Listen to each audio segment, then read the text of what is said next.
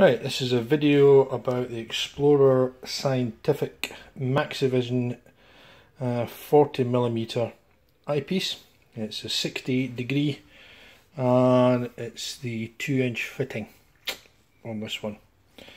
Uh, just received it today. There is nothing on YouTube that I can find that gives you an idea of scale on this. Uh, even the photographs, you have no idea of the size of this until you get the box. Um, and she's a beast. She weighs in at 1.25 kilos.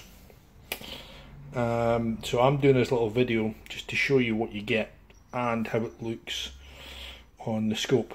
Uh, the scope that I have is the Celestron um, 9.25 uh, Starbright CPC and it's got uh, Williams diagonal, 2 inch Williams diagonal.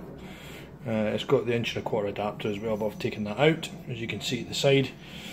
So, we'll open the box, nice box, and lift out the lovely plastic cover, and inside is the monster.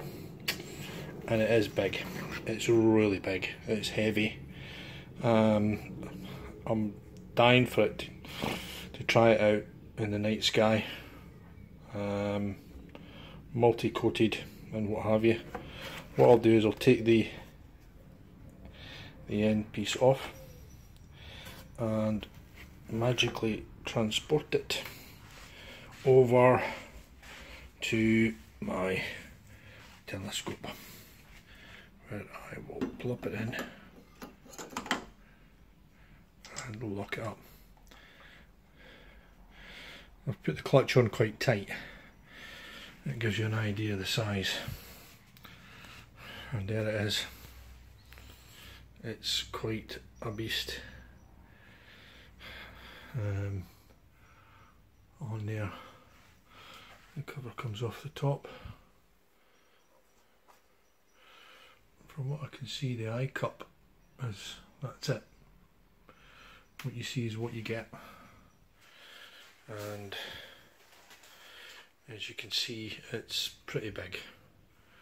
Uh, I don't know if I need a counterweight.